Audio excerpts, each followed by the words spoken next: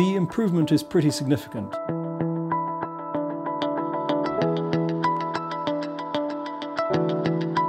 It took a lot of work to get to this stage.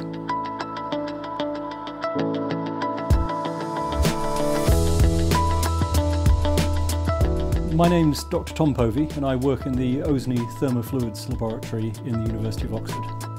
I first came up with the idea on a mountaineering trip because at high altitude it takes absolutely forever to boil water, so improving the efficiency of heat transfer to the pan makes a big difference in that environment.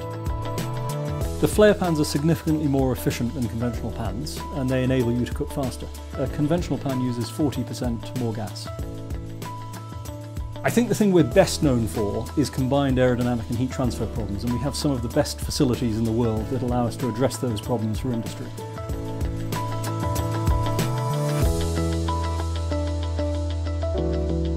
We spent about three years taking test data on these pans and I had a bunch of master students who did a lot of work over the summers taking that data.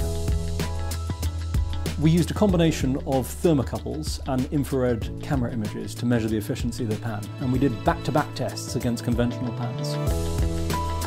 With a conventional pan, the hot plume rises up around the pan and a lot of that heat is just dissipated into the environment.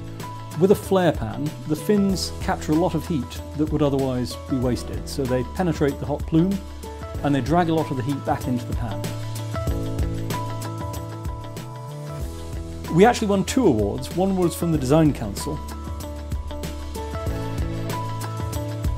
Most of our science takes 10 years to get into jet engines, so it's really exciting to see something turned into a product that the public can buy.